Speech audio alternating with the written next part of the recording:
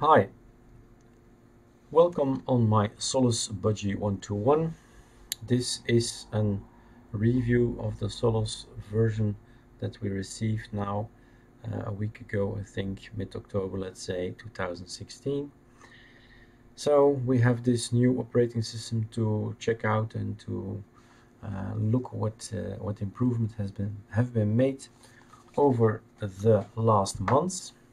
Last time I visited Solus was in mid uh, 2016. So let's have a look. What do we get? We get this toolbar on the top. We have a menu with all, every all the software we're gonna need. So this is the all button. Let's go one by one. As you can see, we have this Moka-like or Faba-like icon theme. Here, edit, internet, Firefox, HexChat, Thunderbird transmission. No Office, you should download and choose it yourself. Sound and video, this I installed extra. This is recording everything I say now. Rhythmbox VLC. Sundry, just special things, the rest uh, category. This is all the system settings you could, could ever be using. Everything is here system tools you need our terminal. I've pinned this terminal already here. Right mouse click unpin from terminal. So that's uh, possible. This is nothing new. And then utilities. So this is what we get when we install it out of the box. Right mouse click gives you change background. Right mouse click gives you also settings. So this is settings and the other one will not open since it's inside in the background. So this can be changed. The lock screen can be changed, the background can be changed. It's all that's not not difficult. That's normal, I would say. And we wait for it to happen. Oh, now it's done. Select. Okay. So everything just works. Pictures, you can add pictures here or colors, just a color, and that's that. What else? Notifications, notifications, banners. We're not going into detail yet. This is just an overview of all the elements that are in the system.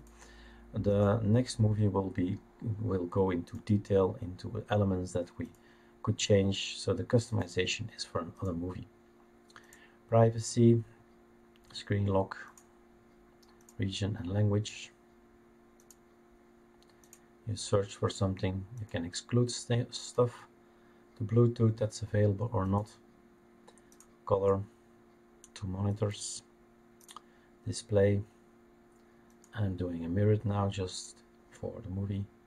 Custom shortcuts, we're definitely gonna make some in the customization.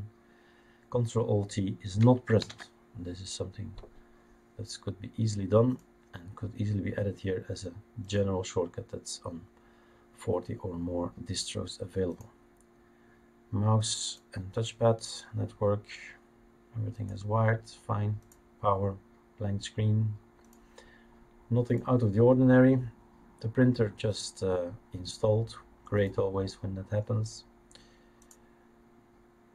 Still an issue with the Bluetooth uh, Bose A AE2 that will not connect but I'll solve that in the future. Some details. Can tell them what are the default applications but nothing has been installed. This is yet out of the box. We are gonna install later in another movie. We're gonna customize our Solus system universal access and users.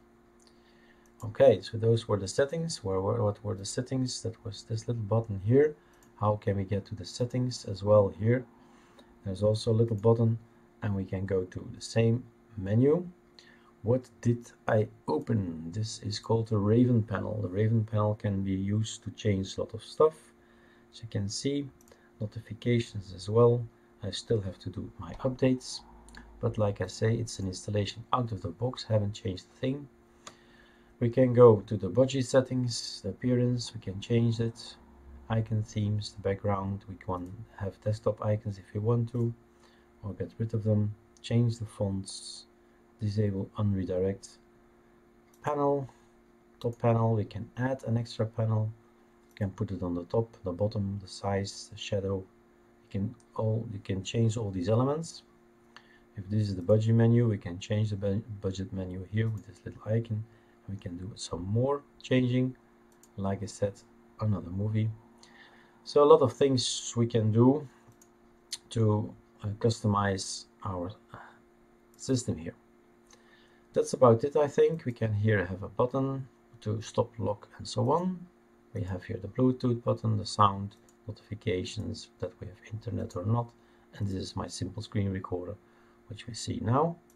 So that's about it I think. Um, that gives you an idea what Solus Budgie looks like. There's also a Solus Mate and there's also a Solus i3 all of them will be uh, documented on erikdubois.be okay. Hear you later